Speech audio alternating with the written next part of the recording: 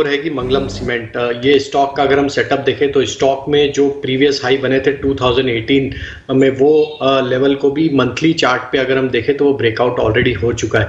अब जिस तरीके से स्टॉक में वीकली और डेली सेटअप के हिसाब से higher top higher bottom formation बन रहे स्टॉक सारे important long term moving averages के ऊपर ट्रेड कर रहा है। और जो प्राइस एक्शन इसमें पिछले एक दो महीने में देखने को मिली, हमें लगता है कि ये स्टॉक में अब जो ब्रेकआउट हुए मंथली चार्ट पे हुए दर्शाते हैं कि ये स्टॉक में अब यहाँ से 620 से 640 तक का अपवर्ड मोमेंटम आते हुए दिखना चाहिए। तो लॉन्ग टर्म के हिसाब से मंगलम सीमेंट बाय करने की सलाह रहेगी।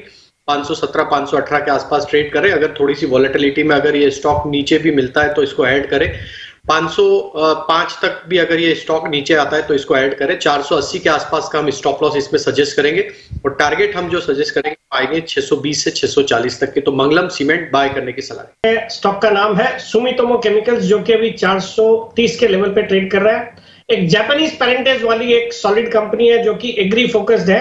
एग्री केमिकल्स और क्रॉप केयर के कारोबार में और भारत में एग्री इनपुट्स में इनका ग्यारह परसेंट का मार्केट शेयर है। एक ये एक्सेल क्रॉप केयर नाम की जो कंपनी हुआ करती थी, उसका भी इसमें मर्जर हुआ है। जून क्वार्टर के बहुत ही दमदार नतीजे थे। 105 करोड़ का पैट डिक्लेयर किया कंपनी ने, जो कि पिछले साल 79 करोड़ के मुकाबले तो अच्छा है ये इवन क्वार्टर ऑन क्वार्टर भी देखेंगे तो मार्च क्वार्टर में सिर्फ़ चौवन करोड़ का पैट था, उसके सामने 105 करोड़ का पैट डिक्लेयर किया।